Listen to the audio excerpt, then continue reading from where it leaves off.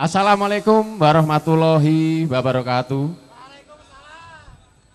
Selamat sore, salam sejahtera bagi kita semua. Pada kesempatan sore ini kita mengucapkan puji syukur kepada Tuhan Maha Esa karena berikan limpahan rahmatnya. Kita dapat menghadiri acara resepsi pernikahan putra putri Bapak Parno sekeluarga dalam keadaan sehat walafiat. Amin.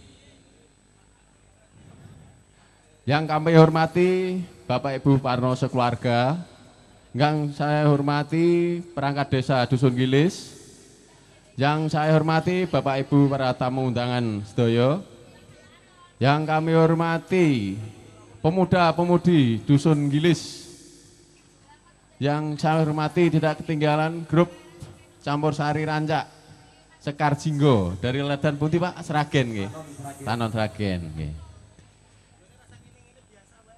Pada kesempatan sore ini, Kulo sebagai Babin Katimas Desa Sobo akan memberikan himbauan Katimas sedikit pesan dari Bapak Kapolres Grobokan, nggih Pak nggih.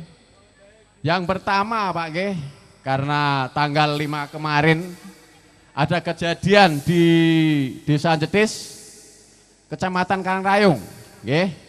Kulo menghimbau warga Gilis, Desa Sobo pada umumnya menawi gadah putra putri tasih teng SD SMP, Pak nggih. Bu, menawi enten enten sing ngajak atau nyukoni barang, ngejak tindakan mang setani mboten mboten sah purun ngeten Bu nggih. Para niki marak intine ngeten Pak napa? Penculikan anak nggih. Sing wingi teng Karangrayung gagal, teng Purwodadi nggih gagal. Sing pun ketangkep wonten Sidoarjo Jawa Timur. Pun ketangkep pelakunya juga orang Sidoarjo, tujuannya mau dibawa ke Bandung. 30 juta satu anak, menurut informasinya gitu.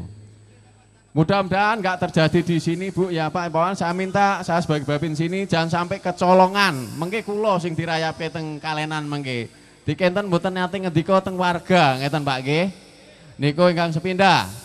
Kalih kula suwun warga tetap menjagi persatuan kali lingkungan nggih, budaya gontong royong tetap dilestarikan.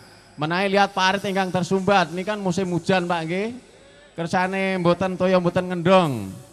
Nggih sekali-kali setunggal bulan gugur gunung sepindah-sepindah Pak nggih, kesan kelihatan saya, ketinggal saya Pak nggih, mboten warga mboten malas tahu ngeten Pak nggih. Nggih menawi enten parit sing bedeng kebek lumpure ngendika kalih Pak Kaduse, mengke Pak Kadus nemoni Pak RW, Pak RW ke Pak RT ngeten Pak nggih uratanipun nggih.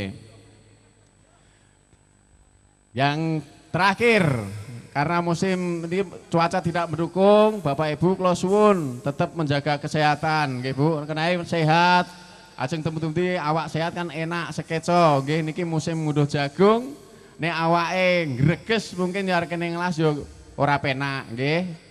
Cekap semeten mawon himbauan kula bila enten kata-kata kula mboten kenan nyuwun agrone pangapunten. Akhir utalam tauhid jaya. Assalamualaikum warahmatullahi wabarakatuh.